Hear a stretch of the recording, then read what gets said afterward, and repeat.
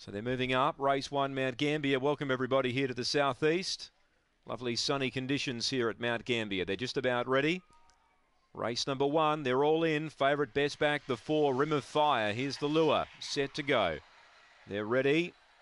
Away, Rim of Fire about last to leave, in fact. Speed here, Tiger 17 will lead. Challenging now Emily Oakes the inside. Moving up Tamika Bay. Running on now, Rim of Fire getting busy. Well back, Broken Rules and Chelsea Champ. Leader Tiger 17. Rim of Fire's throwing out a big challenge. It's coming on well. Three lengths away to Emily Oakes. They turn. Oh, the favourite went back to the inside. It's going to cost it. Tiger 17 defeats Rim of Fire who had the leader in its sights but ducked back underneath of it.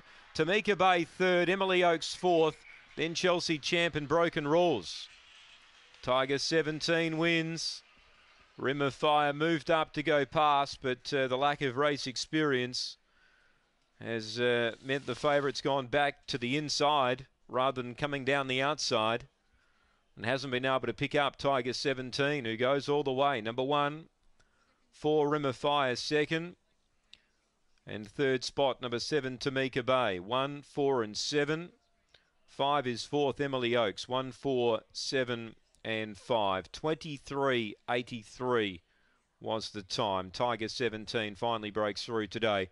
A length the winning margin by three and a half. It's 1475 on the first.